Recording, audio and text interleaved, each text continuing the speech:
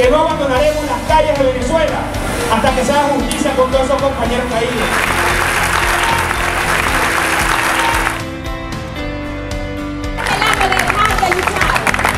solamente para irnos a estudiar qué es lo que nosotros los jóvenes venezolanos tenemos que hacer. Tenemos que dejar esta máscara para recuperar el libro y lo que de verdad nosotros tenemos que hacer como estudiantes y jóvenes. Recuperar la academia, recuperar lo que somos y formarnos